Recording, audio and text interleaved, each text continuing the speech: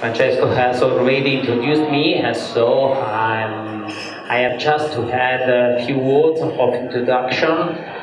Most of the of the words, or most of the sentences that I'll say this evening come from my course, the course that uh, I teach here the, at the University of Bologna, a course called, titled uh, Farm Economics and Administration. Well, let's start uh, talking about uh, urban farm. Uh, I have to say that uh, the third thing to do, the thing to do is that um, uh, we have to emphasize the fact that urban farm are economic activities and uh, that starting an economic activities uh, requires, requires compliance with uh, uh four uh, general rules.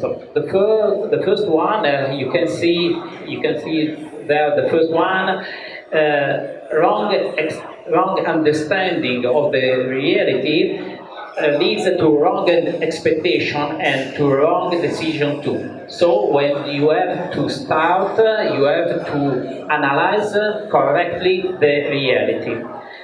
The second one is that uh, economic sustainability has nothing to do with dreams. Forget your dreams, or, or better, remember your dreams but understand them in a rational way and uh, economists are not interested in non-marketable dreams, we are interested in plans. The third one, the third rule is that a dream does not come true without a plan.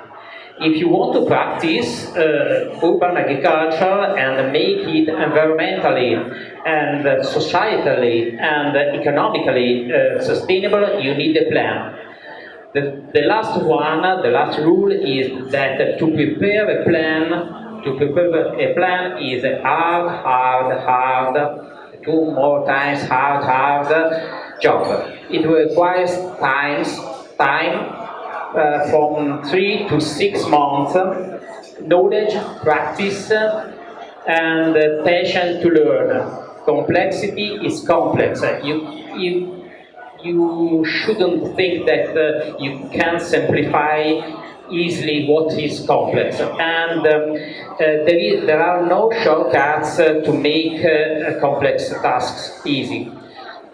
Then, just another. Okay, if you dream to start uh, a, an urban agricultural startup, you should imagine a business model.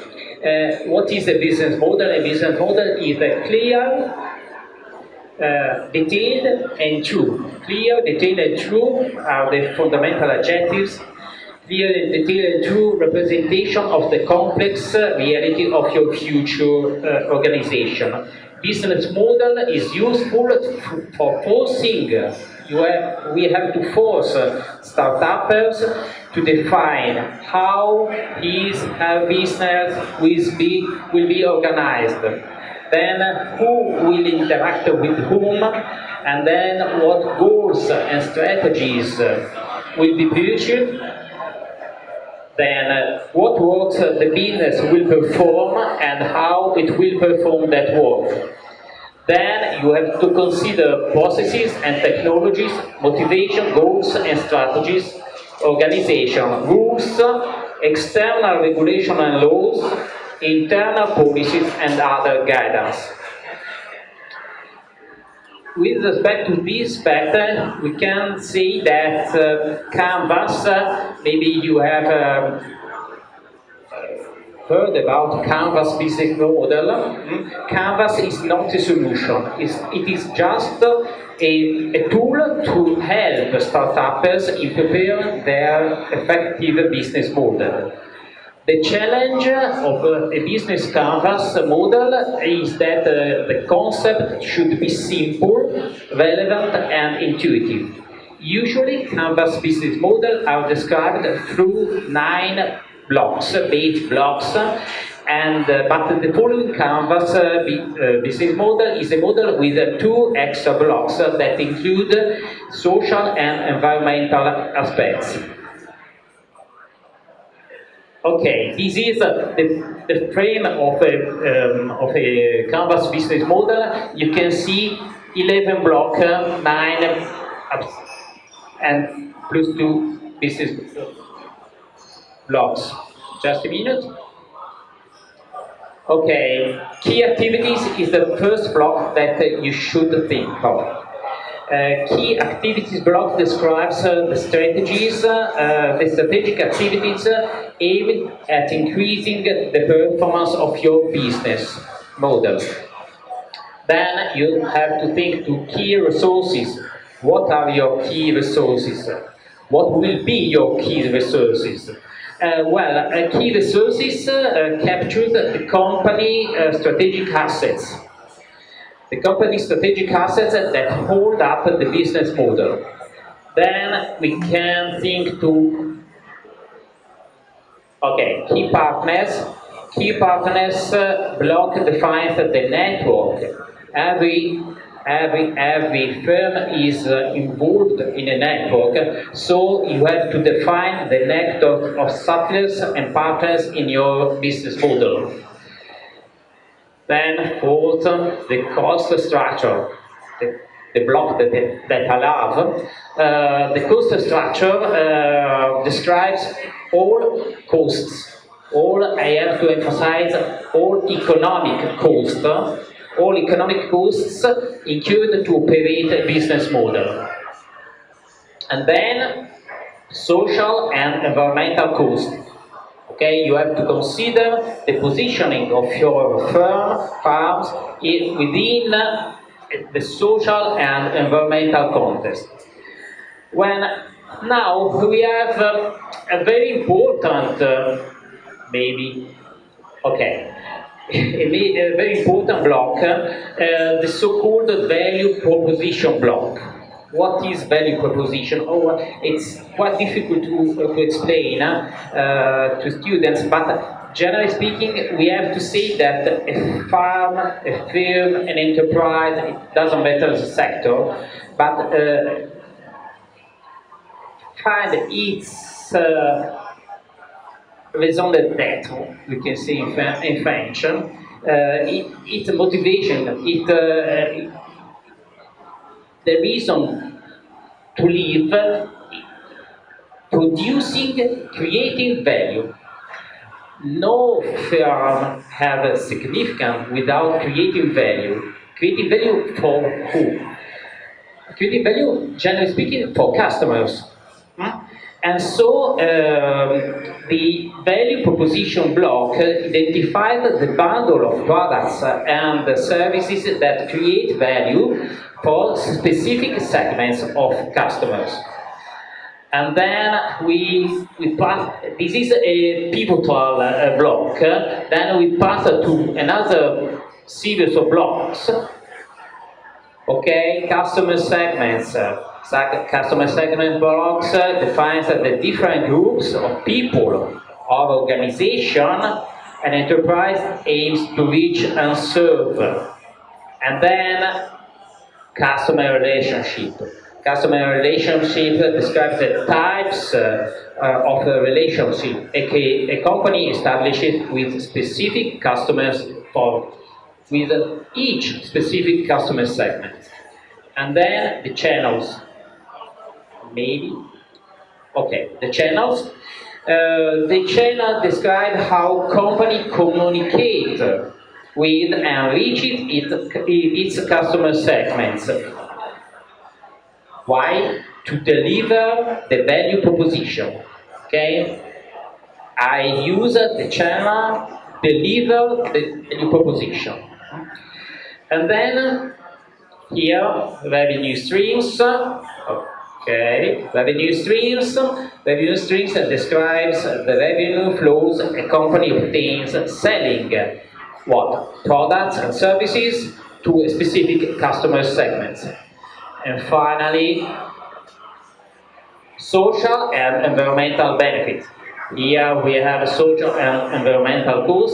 There on the on the right, social and environmental benefits. Okay.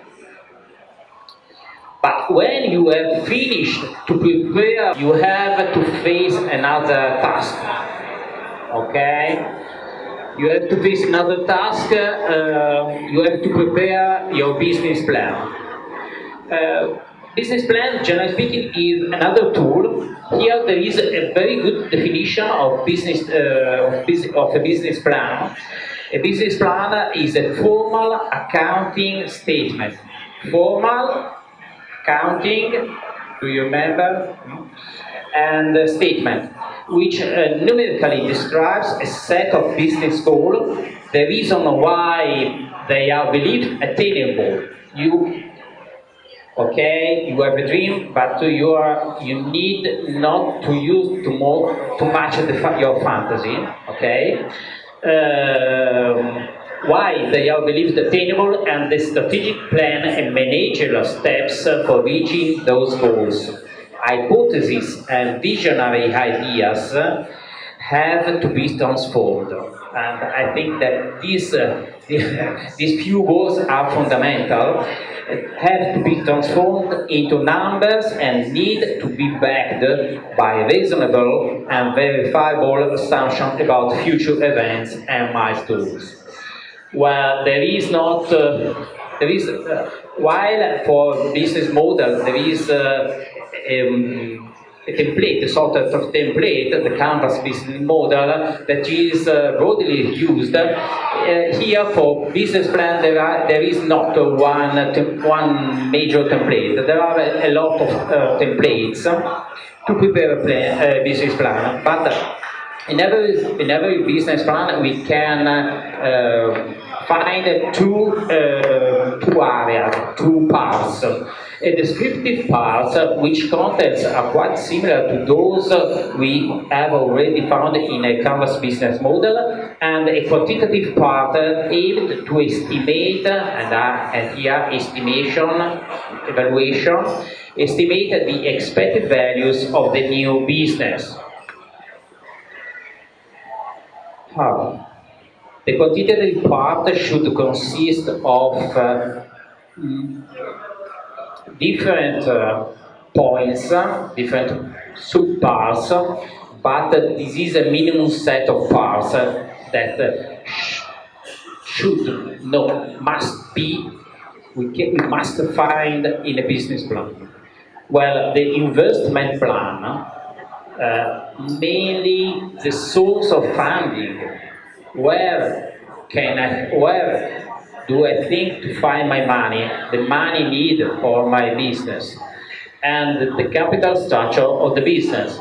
And then revenue and sales forecast. You have to think what that is the physical amount and the monetary amount of sales, uh, of production and sales, obviously. The forecast, and then you have to forecast also the expenses, of the obviously. And uh, when you have forecasted uh, expenses and, uh, and revenues, you can project your profit and loss and, put, and you can write a projected um, cash flow and a projected balance sheet and business ratios it is a very hard work, it is a very hard job, and again, I say, as you see, uh, as you saw in the previous uh, slide, and again, I have to emphasize that uh, all data you put in your in this part of your business plan should and must be backed by reasonable and verifiable assumption about future events and milestones and then you have, now you have finished your business plan, but you need one or two more efforts. Uh, the first one is uh, we can find the first one in the last two lines. Uh, okay, if you are considering different level of production and sales, you are not sure at the beginning about the future level of sales. Okay? And so if you consider different levels, uh, of production and sales or different prices, uh, we can perform, you can perform better, uh, sensitive analysis uh, to realize how the expected values of uh, the business can change. And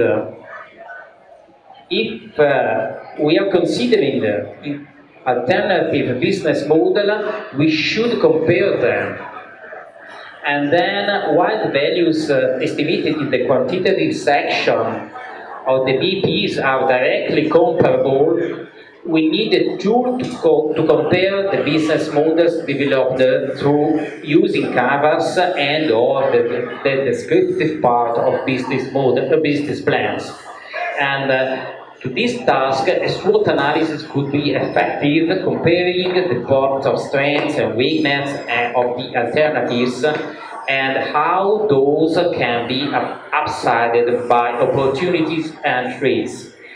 At, uh, at the end, and I finished, if you need to communicate your business model and plan, don't forget to prepare an executive summary and provide a pitch deck. Okay? Uh,